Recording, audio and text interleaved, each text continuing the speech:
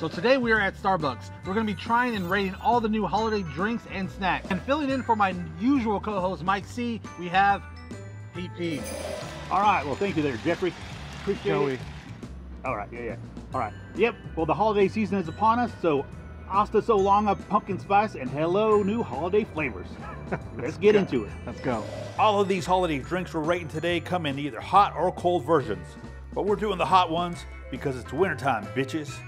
Then we'll list the holiday baking items from naughty to nice.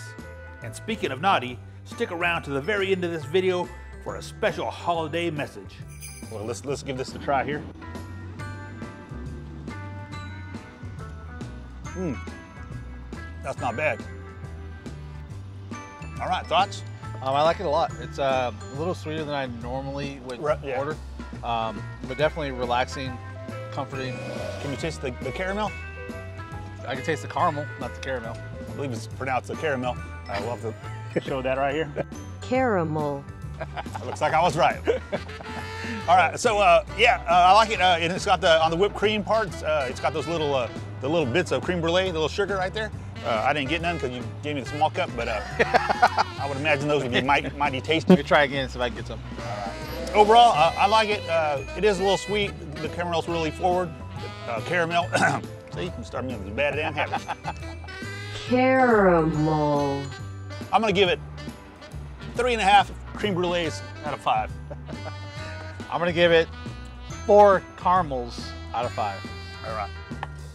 So I know praline is like the candy crunch topping on a lot of desserts, but I'm not really familiar with the flavor profile of chestnuts. Yeah, you know, uh, besides the song, uh, I don't either. But I'll tell you what, I do call chestnut my finishing move I use with uh, my lady friends, if you know what I'm saying, and I think you do. I don't.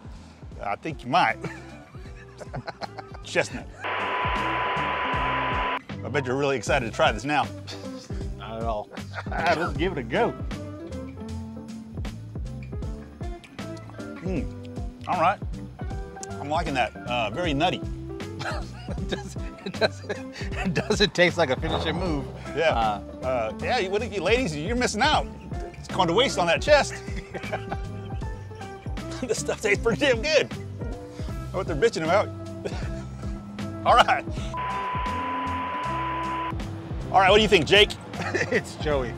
I think it's good. It's not as sweet as the other one. Um, gets to the point I don't know. Again, I still don't know what chestnuts tastes like, but I do taste the praline flavoring of it. Yeah. Um, I don't want to know what chestnuts taste like because I feel like you ruined it for me. Um, but it is a really good, not over the top sweet. Um, I give this four and a half pralines out of five. All right, yeah. Uh, I'm gonna, I'm with you on that. I think I'm gonna give it, uh, I'm gonna give it a solid four nuts.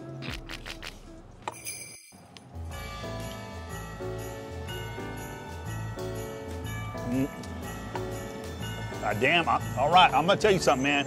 I don't think there's any better combination than peppermint and mocha. I, I gotta say, dude, that's as good a combination as you and that Mike C feller. Thanks, P. That's the nicest thing you ever said to me. Yeah, you know, like, like Mike C's the cool, refreshing peppermint, and uh, you're the the mocha. Well, you know, like you know, tone wise, mocha. You're an asshole. So what do you think? yeah, it's pretty close.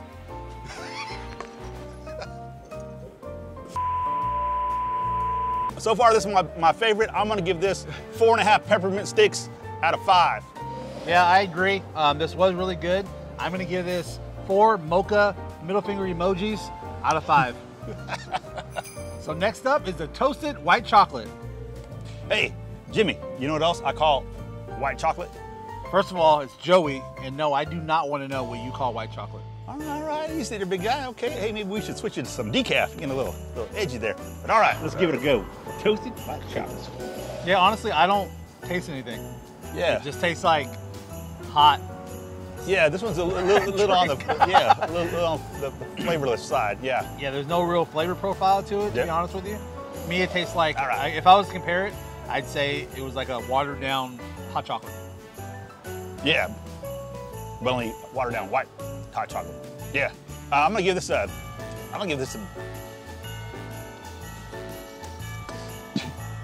I'm gonna give this two Keats out of five. I'm gonna give this uh, two and a half Black Powers out of five. It's time for Starbucks Holiday Bakery Not Into Nice list. Okay, going from worst to first. Coming in at number five is the chocolate pistachio swirl. Chocolate pistachio sounds like a combination that would fill you with holiday cheer, but this thing says bah humbug the flavor and fills you with Christmas tears. In at number four, we got a little reindeer head. And boy, were we disappointed. These cake pops were doughy and bland. Rudolph, your nose might be bright, but your cake pops bite. Coming at number three is the snowman cookie. This is just a basic shortbread cookie with white chocolate icing.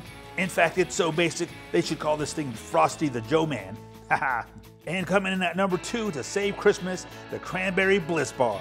A tasty combo of tart cranberry, sweet cream cheese, and a pop of orange zest. Hey, Cranberry Bliss Bar, meet me under the mistletoe. And taking our number one spot, the Sugar Plum Cheese Danish. This thing's absolutely plum delicious. Fluffy Danish, filled with cream cheese and topped with a spiced sugar plum spread. It's no wonder people have visions of sugar plums dancing in their head.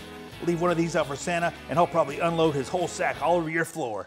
So thanks for joining us, and leave a comment below and let us know what your favorite is. Yeah, and on behalf of the B2B Restaurant Review family, happy holidays to you all, and uh, happy Kwanzaa to you.